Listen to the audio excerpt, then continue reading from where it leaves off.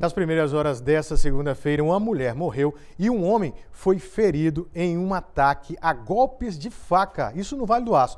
A ação criminosa registrada próximo ao terminal rodoviário na região central da cidade. O Marcos Lessa e o Rodney Ferreira acompanharam e trazem as atualizações e informações.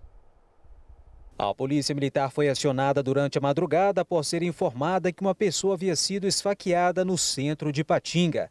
A vítima é um morador em situação de rua. Um homem de 45 anos, ele foi abordado por um grupo de pessoas bem aqui na região central de Patinga. Os suspeitos o obrigaram a levá-los até um homem de 29 anos, morador em situação de rua. Depois, esse homem de 45 anos foi liberado pelo grupo. Fomos acionados por volta de 3 horas da madrugada, né, dando conta de uma vítima que estaria esfaqueada na Avenida Cláudio Moura, com Rua Belo Horizonte.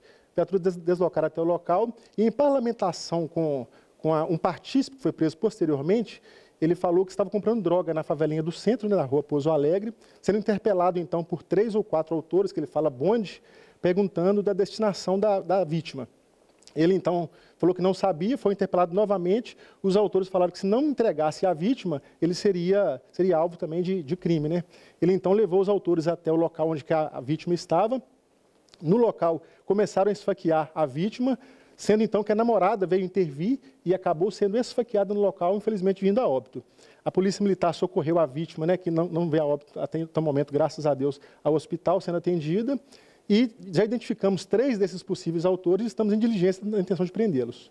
Os autores, segundo a PM, são conhecidos do meio policial. Eles seguem foragidos. Essa motivação tem tudo a ver com o tráfico de drogas? A motivação específica do, do crime a gente não tem ainda, mas tudo ligado ao tráfico de drogas.